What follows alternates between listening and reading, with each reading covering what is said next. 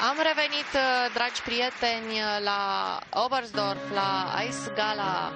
În imagine îl avem pe Kevin van der Beren, reprezentantul Belgiei, un sportiv de 29 de ani, un atlet desăvârșit.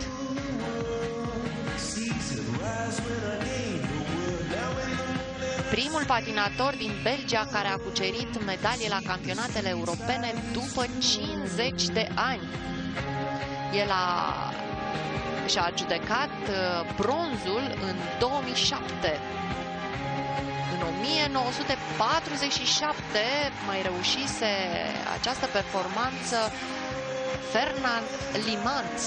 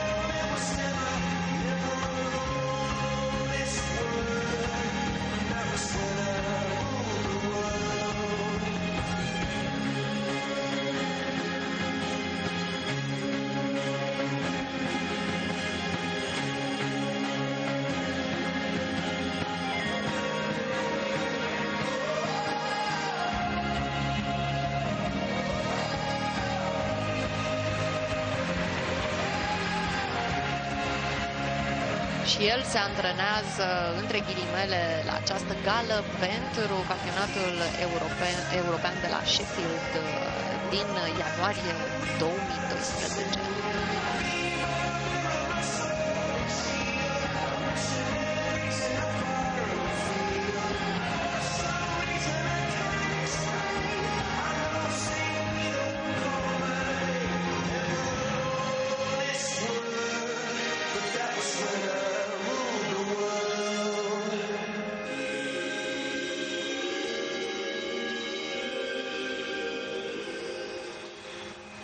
Da, cu toate că spuneai că și el se pregătește, a mers cu motoarele mai puțin turate în seara asta.